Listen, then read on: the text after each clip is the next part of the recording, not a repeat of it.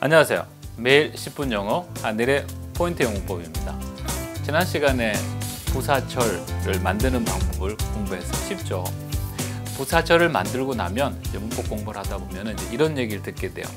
부사 구로 바꾸세요 이런 얘기를 듣게 돼요. 아니, 부사절로 그렇게 애써서 만들어 놨는데 또 구로 또 바꾸라 그러네요. 안 바꾸면 안 돼요. 근데 에, 모든 문법 시간에 바꾸라고 요청을 하니 한번 바꾸는 방법을 알아나 볼게요. 부사절을 부사로 고치기라는 제목인데요. 만일에 고치는 게 죽을 만큼 어려웠다. 그러면 이 말 사라집니다. 모든 언어가 그래요. 배우기 너무 어렵고 그러면 다 사라져요. 할만하고 쉬우니까 지금까지 우리 곁을 맴돌고 있는 거죠. 비동사가 있을 때 고치는 방법이 하나 있고 일반 동사가 있을 때 고치는 방법이 있는데 오늘은 비동사가 있을 때 고치는 방법 해볼게요. 일단 쉽습니다. 쉬워 그렇게 알고 사진을 하나 볼게요.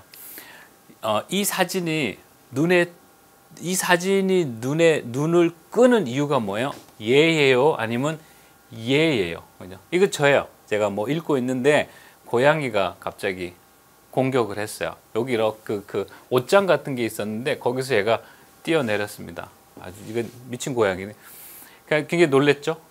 이, 이, 이 사진이 특이한 이유는 뭐겠어 이런 일을 물론 자주 겪지 않죠. 여러분 뭐길 갈 때마다 고양이 공격을 받고 그러진 않잖아요. 하여튼 저도 어, 이런 경우에 한 번 있었어요. 지금 얘가 특이한 거야. 고양이 이렇게 이렇게 안 하는데 왜 나를 공격했는지 모르겠어요. 예, 문장을 봐볼게요. While 뭐뭐 하는 동안에 I was reading. 내가 읽고 있는 동안에 얘가 부사고 그죠? 얘가 문장이니까 합해서 부사절. 부사절은 쉽게 만들었다 그죠? 내가 책을 읽고 있는 동안에 그래서 뭐 이유가 필요하니까 뒤에 이제 결론절을 뒤에 써주면 되는 거죠. While I was reading, 내가 읽고 있는 동안에 I was attacked by a cat. 내가 고양이의 공격을 받았습니다. 그 um, 지금 그 어느 게 어느 게 내가 사실 전달하고 싶은 말이었어요. 책 읽고 싶은 거를 전달하려고 그랬어요. 고양이 공격 받았다는 거를 말을 하고 싶어서 이 말을 꺼냈겠어요. 저 고양이 공격받았다 말을 하고 싶어서 이 말을 꺼낸 게 아니겠어요?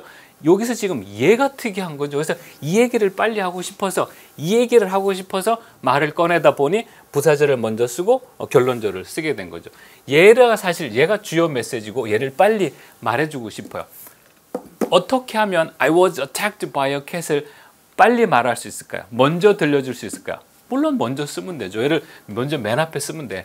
I was attacked by a cat while I was reading 이라고 하면 뭐 그럼 얘기 끝났어요. 그러면 결론절을 먼저 주요 메시지를 먼저 저, 전달해 줬으니까 뭐 그걸로 얘기 끝났고 중요한 내용 얘기했죠. 그죠? 근데 우리가 지금 배우고 있는 게 부사철을 부사구로 바뀌는 걸 바꾸는 방법을 배우니까 얘를 고치는 방법을 고민하고 있는 거예요. 그럼 이제 얘를 앞에다 놔둔 상태에서 어떻게 하면 이 I was attacked by a cat이라는 결론절을 먼저 듣게 할 수 있을까요? 만일에 부사절이 길면 길수록 얘가 길면 얘가 길면 길수록 얘는 나중에 들어야 돼요. 얘가 짧으면 짧을수록 얘를 들을 수 있는 시간이 빨라지죠. 그죠? 그래서 이거 결론절을 앞으로 보내지 않은 상태에서 얘를 빨리 들으려면 어떻게 하면 돼요? 얘가 좁아지면 되는 얘가 이 길이가 짧아지면 되는 거. 어떻게 하면 그렇게 할 수 있어요? 또 이 와중에 또 좁겠습니다. 그러면 안 돼요. 또 while 다 붙여졌어요. 다. 다 붙여졌으면 짧아지네. 그, 그거 말고, 그거 말고. 어떻게 하면 돼요? 말을 빨리 해요? While I was reading, I was attacked by a car. 맨날 얘를 말을 빨리 하면 그것도 이상하지. 나중에 혼자 남아. 주변에 아무도 없어요. 단어 개수가 줄면 되죠. 하나, 둘, 셋, 네 개의 단어가 있는데 이 단어가 단 두 개의 단어로 줄어들면 그러면 얘가 줄어들고 이 내용을 빨리 들을 수가 있죠. 그죠? 어떻게 하면 네 개의 단어 중에 어떻게 하면 단어 개수를 줄일 수 있을까요? 단어 개수를 줄일 수 있는 방법은 무엇일까요? While I was reading, I was attacked by a cat. 빨리 전달하고 싶은 말이 뭐예요? 이 말을 빨리 전달하고 싶은 거죠. 어떻게 하면 빨리 말하게 할 수 있을까요? 듣게 할 수 있을까요? 영어는 반복을 좋아한다 그랬어요? 싫어한다 그랬어요?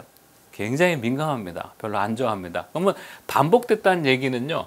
한 반복됐던 얘기는 한쪽이 빠져도 다른 쪽이 만회할 수 있다는 얘기가 됩니다. 반복되니까 그렇잖아요. 한쪽이 없으면 얘가 얘였다고 얘기하면 되잖아요. 여기 지금 부사절하고 결론절에서 반복되는 거 뭐 있어요? 선생님 W자가 반복이 많이 되는데요. 이렇게 W자. 그거 말고 단어 반복되는 거 단어요. 여기도 I가 있고 그죠?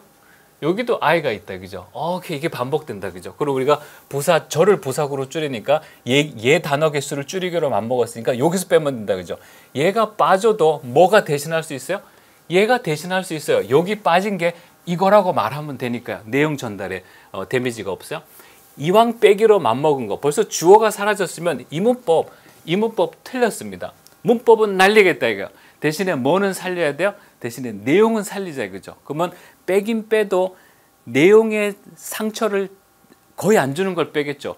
빼서 무슨 말인지 몰라. 그럼 빼면 안 돼요. 빼도 내용의 내용 이해에 지장을 안 주는 걸 뺍니다. while 뭐뭐 하는 동안에 이걸 빼면 내용이 많이 날라가요.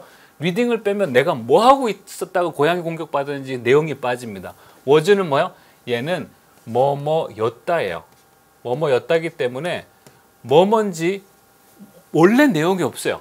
얘 빠져도 괜찮아. 그리고 읽어볼게요. While reading 읽고 있는 동안에 I was attacked by a cat. 괜찮은 것 같아요. 그죠? 그렇게 해서 이렇게 사람들이 말을 줄이기 시작했는데 줄여진 말이 인기를 얻고 어, 지금까지 우리 주변에 내려오기 시작을 합니다. 얘가 이제 줄여진 말이에요. 줄여지기 전에 어떻게 돼요? 부사, 절, EI, EI 같아요. 얘 뺍니다. Was 뭐뭐였다 빼도 내용의 지장을 안 줍니다. 여기 I was가 있었는데 두 개가 반복이 돼서 뺍니다. was 빼도 내용의 지장을 안 줍니다. 결국 어떤 결과가 나오냐면 아주 이렇게 인기 있는 말이 나와요. While reading, I was attacked by a cat이라고 해서 얘가 이, 이 단어 개수가 줄어들므로 인해서 이 결론절을 빨리 들을 수 있는 방법이 생긴 거죠. 특히 어, speaking 때 상당히 인기를 얻습니다. 선생님, 저는 안 줄이고 싶어요. 저는 그냥 이대로 쓰고 싶은데 어떻게 하나요? 괜찮아요, 괜찮아요. 계속 이렇게 쓰고 말해도 어느 누구도 뭐라 그럴 사람 없어요. 근데 간간히 여러분이 생활하다 보면 speaking 때 이렇게 줄어든 말을 간간히 듣게 됩니다. 그때 이해하라고 설명을 하는 거고 시험에 가끔 나올 때 있긴 합니다. 그러니까 알아둬서 뭐 나쁠 건 없어요.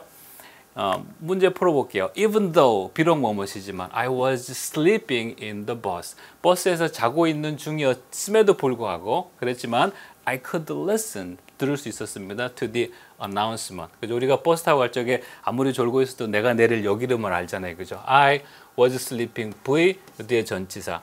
I s could listen V 나머지 다 전치사 그죠?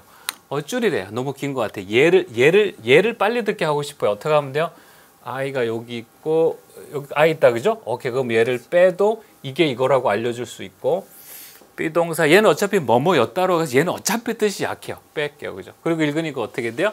Even though sleeping in the bus, I could listen the announcement. While I was walking, 내가 걸어가고 있는 동안에 I thought about you. 너에 대해서 생각했어. Good, nice 표현. 오케이, um, I, 아 여기 있다 그죠? 아야 여기 있고 그러면 같으니까 얘가 없어져도 이게 이거였다고 말해도 설득력 있고 was는 어차피 빼도 내용상 큰 주장을 안 주니까 빼고 그리고 읽어보니까 while walking I thought about you. 선생님 듣기 너무 어색한데요? 오늘 처음 써봐서 그래요. 오늘 처음 써봐서 그래. 그냥 한 3, 4일만 입에 붙이고 써보면 이게 또 그렇게 또 자연스러워집니다. 정리해 볼게요. 부사절에 주어하고 비동사를 생략을 해서 이제 드디어 부사구로 만들어 봤어요. 부사구로 만드는 주요 이유는 왜 그래요? 결론절, 뭐 주절이라 그러기도 하고 독립절이라 그러기도 하는데 그거 빨리 들으려고 들으려고 부사절을 부사주로 부사절을 부사구로 고치는 거예요. 요구 사항이 뭐였어요? 부사절의 주어와 얘의 주어가 꼭 반복이 돼서 겹쳐야만 한쪽을 빼도 되죠, 그죠? 어렵게 생각하지 말고 어, 부사절 다 쓴 다음에 침착하게 부사구로 고쳐보도록 하세요. 성취감을 느낄 거예요. 수고했습니다.